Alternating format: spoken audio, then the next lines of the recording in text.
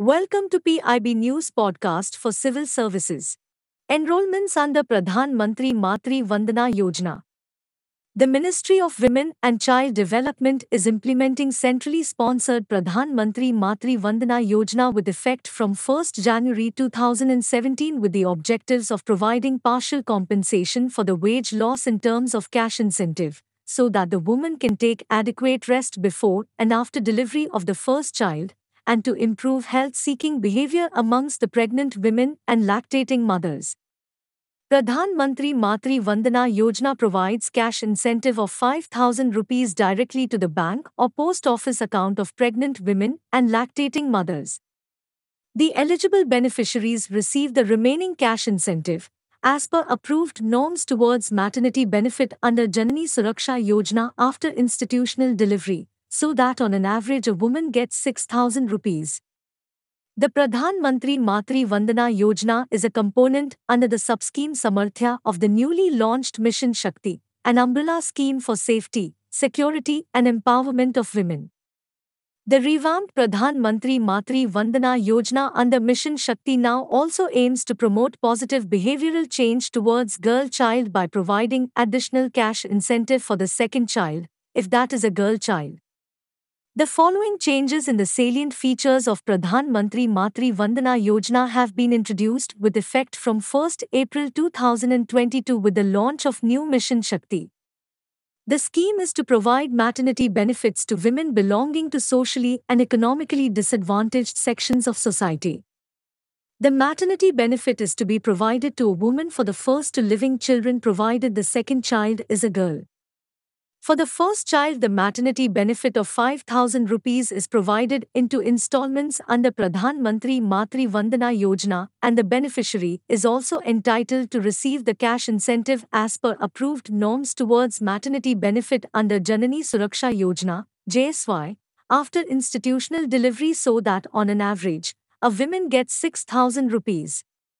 For the second child, the benefit of 6000 rupees is to be provided subject to second child is a girl child in one installment after the birth. The beneficiary's husband's Aadhaar is not mandatory for availing the benefits under the scheme. Cases of miscarriage or stillbirths are to be treated as fresh cases for providing maternity benefit under the scheme. Since inception of the scheme, more than 2.89 crore pregnant women and lactating mothers have been enrolled and 11,217.39 crore rupees has been disbursed as on 15 July 2022. The funds under Pradhan Mantri Matru Vandana Yojana are released to states and union territories on the basis of indicative targets and utilization of released funds. Thus, State and union territory-wise and city-wise allocations are not made under Pradhan Mantri Matru Vandana Yojana. Salient features of the Pradhan Mantri Matru Vandana Yojana. The maternity benefit is available to a woman for the first living child of family subject to fulfillment of conditionalities all the pregnant women and lactating mothers in regular employment with central government or state governments or public sector undertakings, or those who are in receipt of similar benefits under any law for the time being in force, are excluded. Mother and Child Protection Card is the verification tool for verification of fulfillment of conditionalities. Early registration of pregnancy has been considered as registration of pregnancy within 150 days from the date of her last menstrual period and duly recorded on Mother and Child Protection Card. All pregnant women who have registered their pregnancy for the first child in family on or after 1 January 2017 are eligible for getting benefit under the program.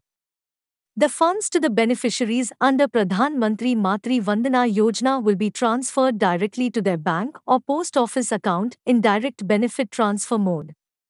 If a beneficiary delivers twins or triplet or quadruplet, it will be counted as first living child in the family. An eligible beneficiary can apply at any point of time, but not later than 730 days of pregnancy. The grants in aid are transferred in escrow bank account as well as state or union territory treasury for different components of the scheme. For the maternity benefit component, conditional cash transfer of 5000 rupees is transferred to the escrow bank account of the states and union territories and remaining components is through states and union territories treasury account. At the center, the scheme is being implemented by Ministry of Women and Child Development. The states and union territories have option to implement the scheme either through Women and Child Development Department or Social Welfare Department or through Health and Family Welfare Department. Thanks for listening. Kindly like, subscribe and share.